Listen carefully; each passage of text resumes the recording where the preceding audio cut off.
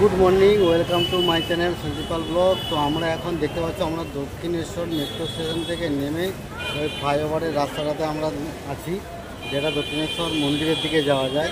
তো আমরা মন্দিরের ওখানে যাব, ওখান থেকে গিয়ে আমরা জেটিঘাটে যাব। জেটিঘাট থেকে আমরা আমার লঞ্চে চাপবো, লঞ্চে চেপে বেলুর মঠে যাব। তো চলো, এখন সাড়ে দশটা পনেরো বাজে। আশা করি ওখানে আমরা প্রসাদ পেয়ে যাব যতদূর সম্ভব। চেষ্টা করব চলো দেখতে থাকো সঞ্জীব পাল ব্লগ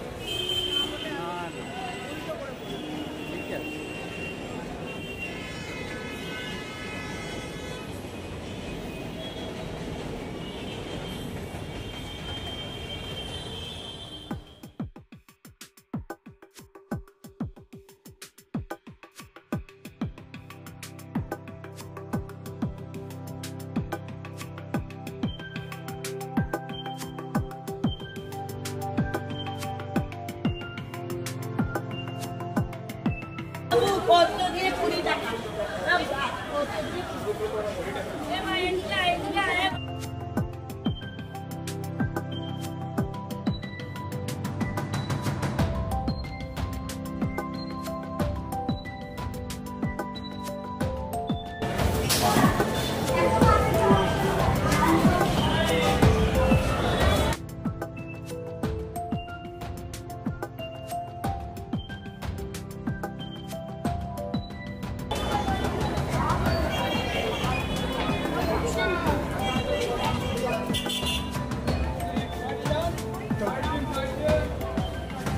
কত দিয়ে এ মা এগুলা এগুলা এ চলো বেরিয়ে দিয়ে নাকি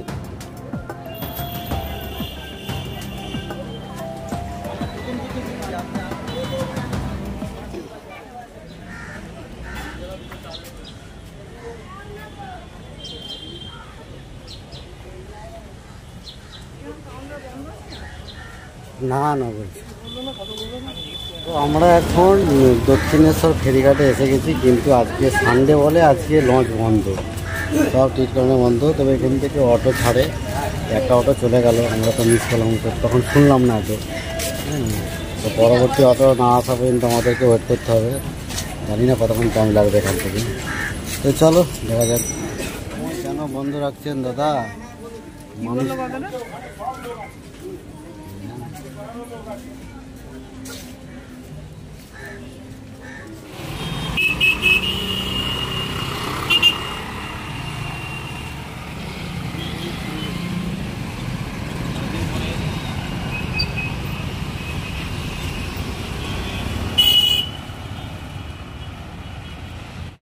তো আমরা বেলুর মঠের সামনে এসে গেছি এখন অনেক ঝামেলা হলো। হ্যাঁ, আজকে তো ফেরিঘাট বন্ধ সেই জন্য তো উঠতে পারলাম না। অনেক ইচ্ছাও ছিল একটু ঘুরে ঘুরে আসব। যাই হোক ট্যাক্সি পেলাম ট্যাক্সিতে দেড়শো টাকা কত নিল তোমার? হ্যাঁ, পাঁচজনে একশো সত্তর টাকা নিল। তোমার কত আমার হচ্ছে ষাট টাকা। ষাট টাকা? সত্তর টাকা। সত্তর টাকা। দুজনে সত্তর টাকা নিয়েছি। আর আসে ওখানে যদি আসতাম এগারো এগারো বাইশ টাকা।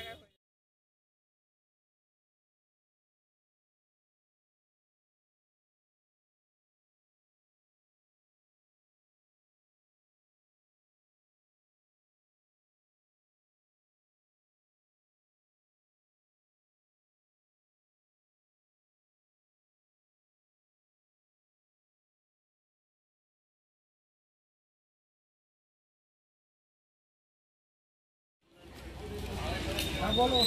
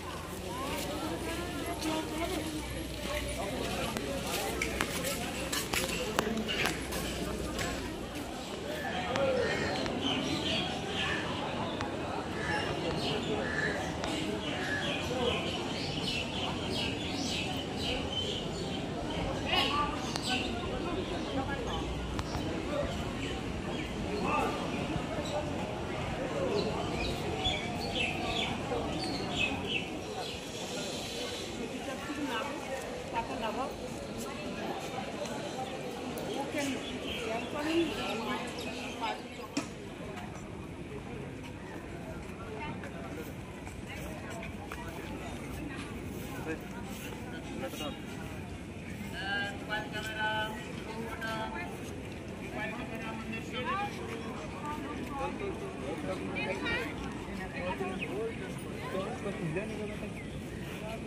Thank you.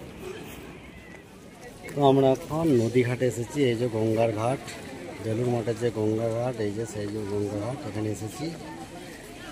ভিতরে যদিও ভিডিও করতে দেয়নি, তবুও লুকিয়ে চুরিয়ে কিছু কিছু করেছি তোমাদের, তোমাদেরকে শেয়ার করার জন্য। দেখতে পাবে।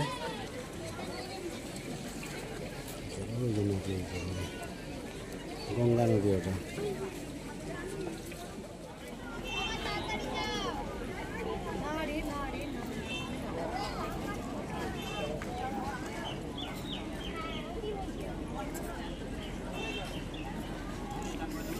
চলো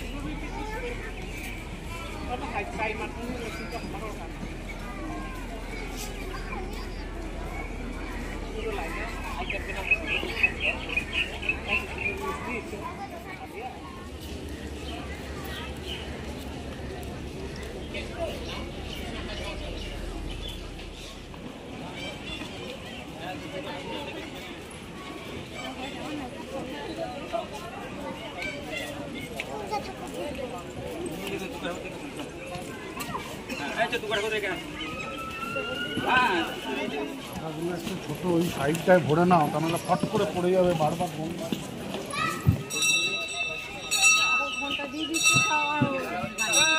খাবার ঘণ্টা নাকি? তো খেতে যাওয়ার জন্য ঘণ্টা বেজে গেছে, তাই আমরাও খাবারের উদ্দেশ্যে বেরিয়ে গেলাম। তো এই যে গঙ্গার ধারে ধারে এদের রাস্তা করাই আছে।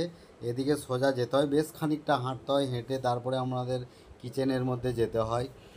তো এখানে ভিত- ভিতরে ভিডিও তোলা এলাও নেই যদিও, তবু আমি লুকিয়ে চুরিয়ে কিছু করেছি, দেখতে দেখলে খুবই ভালো লাগবে। তোমরাও আসতে পারো, এক দু ঘণ্টার জন্য ঠিক আছে। তো এইখানে সিস্টেম অনুযায়ী তুমি এগারো, সাড়ে এগারোটার পর আর ভিতরে থাকতে পারবে না, তোমাদেরকে বার করে দেবে।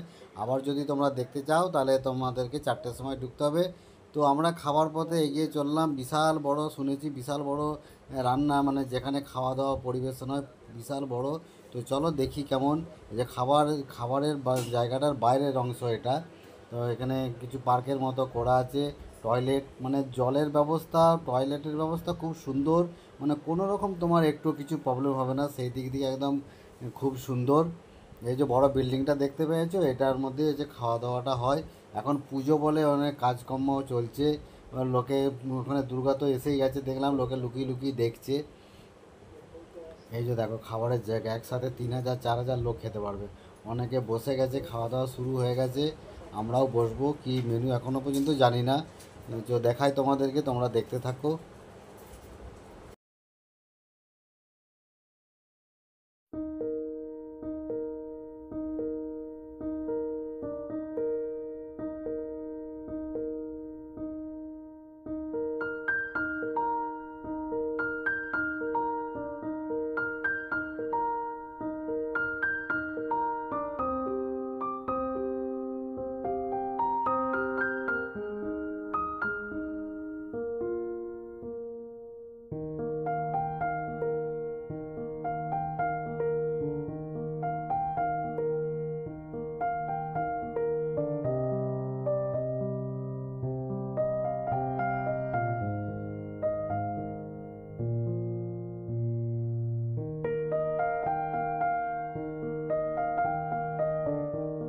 তো খাওয়ার পর এখানে হাত ধোয়ার জায়গা, তো হাত ধোয়ার পরে আমাদেরকে এদিক দিয়ে গেট দিকে বার করে দেবে, কারণ মেন গেট সাড়ে এগারোটায় বন্ধ হয়ে যায়, তো আর ঢোকা যায় না।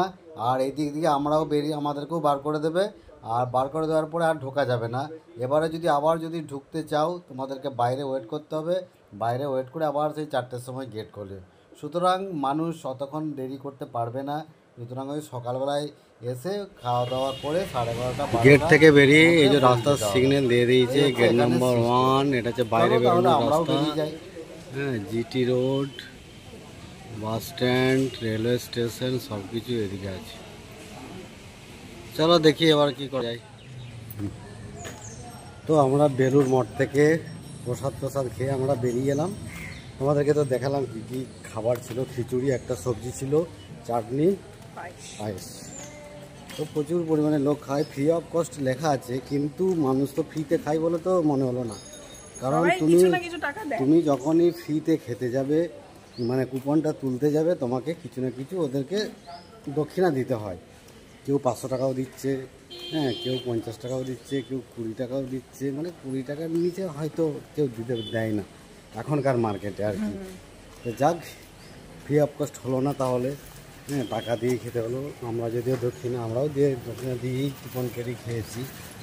তো চলো, আমরা ওখান থেকে বেরিয়ে গেলাম। এবার আমরা বাস স্ট্যান্ডের উদ্দেশ্যে রওনা দিচ্ছি। দেখি কোথায় যাওয়া যায়, না বাড়ি চলে যাব, সেটা দেখছি। তো চলো, দেখতে থাকো।